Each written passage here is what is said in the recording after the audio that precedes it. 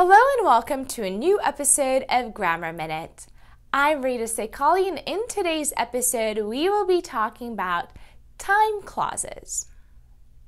A time clause is the subordinate clause that deals with time. It usually begins with when, after, until, as soon as possible, or before. These are called adverbs.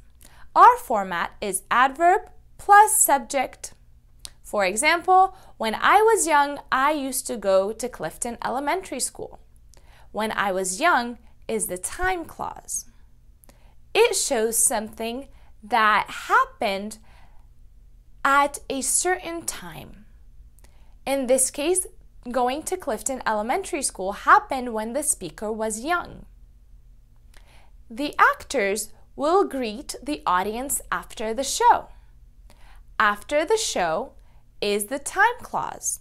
It speaks of what the actors will do when the show is over, so it shows a certain time.